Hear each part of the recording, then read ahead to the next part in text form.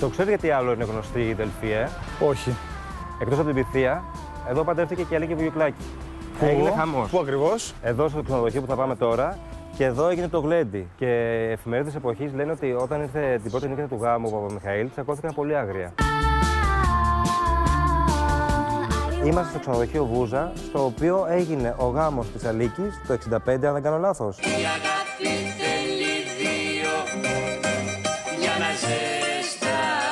Είναι η σάλα που έγινε ο χορός, ε, που έγινε η δεξίωση. Ναι, ελάτε μαζί μου. Ήταν το σαλόνι εδώ που έγινε το γλέντι, που κόρυψε ο Παπαμιχαήλ το περίφημο ζεμπέκικο Α, με την παρέα του. Εκεί ήταν η κουζίνα. έχω ακούσει για ένα δωμάτιο με τον αριθμό 40, που εκεί ετοιμάστηκε η Αλίκη. Ναι.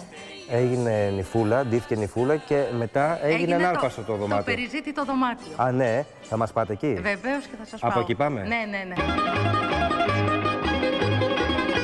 Εδώ λοιπόν, για να τα ξαναπούμε, ετοιμάστηκε η Αλίκη Βουγιουκλάκη, η ντύθηκε Αλίκη νύφη. νύφη. Να σου πω την μαύρη αλήθεια. Λίγο μικρό είναι το δωμάτιο που ετοιμάστηκε. Δηλαδή την Αλίκη την είχα για πιο μεγάλο δωμάτιο, δεν ξέρω κι εσύ. Εγώ προφανώς πιστεύω ότι όλα τα δωμάτια έχουν το ίδιο εμπαδό.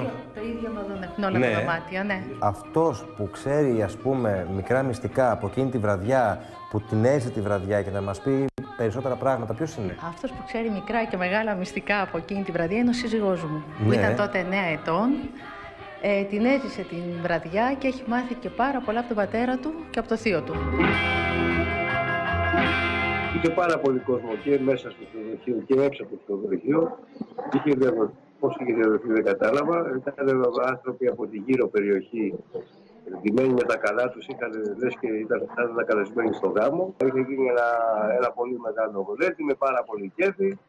Η Αλίκη με το, Παπα- το Δημήτρη Παπαμιχαήλ ε, χορέψανε σιρτάκι. Το τραπέζι ήταν προς το πάροχο, τα φαγητά ε, ήταν, ήταν ανορεκτικά, υπήρχαν ε, κυρίως, κυρίως κάτω, αρνιά ήταν και αρνή στη στρούλα, είχε, ζωντανή, είχε ζωντανή ορχήστρα.